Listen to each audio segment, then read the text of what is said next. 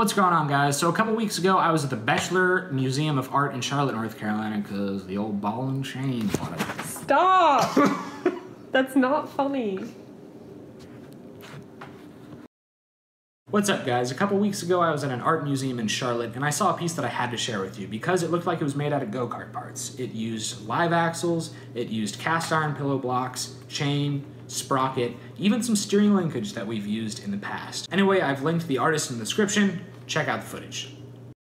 I want you to show me how to get to know someone like you, someone like you. I want you Cause I know then you'll see.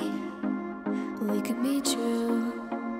We can be true. I want you to see what I see in us. Something so real. Something so real. I want you to see that This is a love That we both feel That we both feel.